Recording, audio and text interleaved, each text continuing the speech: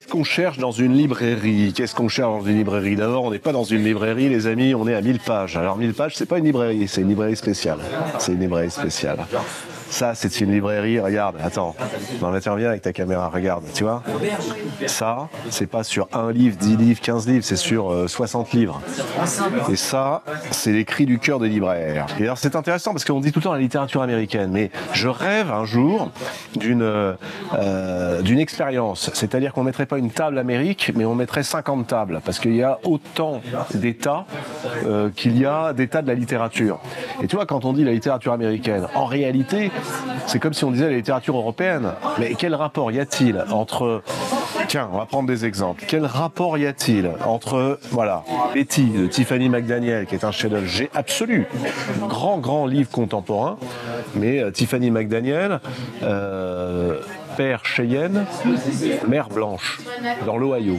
Bon, est-ce que tu crois qu'il y a un rapport entre elles et tiens, bah, je vais te chercher. Donne-moi, tiens, bah voilà, regarde, Jonathan Franzen, la littérature qu'on a dite un peu plus branchée, c'est-à-dire entre New York et la Californie. Tu vois, les deux côtes.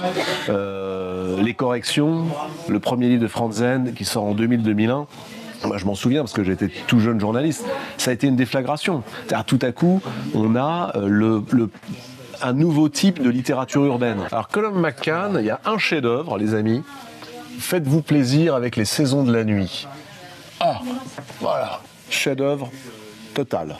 Un des premiers livres de, Colum- de Colum McCann, donc lui il est irlandais, euh, il a fait un petit tour du monde et il s'est posé à New York après avoir fait le tour des États-Unis euh, à vélo. Tu vois, comme ça, euh, en dormant dans des hôtels pourris, en ayant des petits boulots parce qu'il fallait continuer à, faire euh, le tour. Mais lui, il a vraiment vu l'Amérique. Parce que t'es pas dans des 5 étoiles, hein, là, tu, puis tu passes du temps à vélo. Il est revenu s'installer à New York, Les Saisons de la Nuit. C'est un livre que j'ai lu il y a 25 ans et qui me marque encore. Viens filmer, regarde. On va, je vais te montrer exactement pourquoi c'est important une librairie. Parce que je viens chercher du Jim Harrison. Bon, avant que je trouve, qu'est-ce que je vois? Ça, qui est un autre chef-d'œuvre, T.C. Boyle. Alors moi j'étais dit, je vais chercher du Harrison, pas du. Boyle, je savais même pas qu'il existait. Et ben voilà, et je tombe là-dessus, Water Music. Ça, alors là, une gifle monumentale. C'est le grand récit d'aventure euh, à la Stevenson. Euh, L'île au trésor, le maître de Ballantré, toute cette euh, imaginaire, toute cette capacité aussi à brasser le récit exotique. Euh, et T.C. Boyle, ça c'était je crois son deuxième roman. Et il est devenu l'un des écrivains les plus intéressants, notamment pour tous ceux qui euh, ont envie de lire quelque chose sur l'environnement. Il a écrit 4-5 bouquins formidables sur ce que l'Amérique fait à la planète. Alors qu'est-ce qu'on a de Louise? Ah bah voilà. Alors moi, mon préféré, tu dois l'avoir, c'est la chorale des maîtres bouchers. Le voilà. Voilà. Alors ça, si vous n'avez pas lu ça, oh, je vous envie, c'est extraordinaire. C'est l'un des plus grands romans euh, qu'on puisse imaginer. Et alors là, regardez, je fais un truc marrant. C'est chez Albin Michel. Allez, regarde, tiens. Mais si je veux lire le livre, je vais avoir un petit souci. Parce que euh, faudra que je le prenne comme ça. Bon, ah, mais après c'est marrant, hein, c'est pourquoi pas. Voilà, donc on, Comme un manga. Hein, comme un manga. Ah bah la poésie américaine, c'est la poésie américaine. Pour moi, c'est les livres de Jim Harrison, bien évidemment, pour la poésie contemporaine. J'aime beaucoup Richard Brotigan, Ouais. euh, dans une poésie un peu déglinguée, un peu contre-culture. Et puis euh, la poésie américaine, pour moi, euh, j'ai tout le temps avec moi un livre dans plusieurs éditions que je vais chercher chez toi.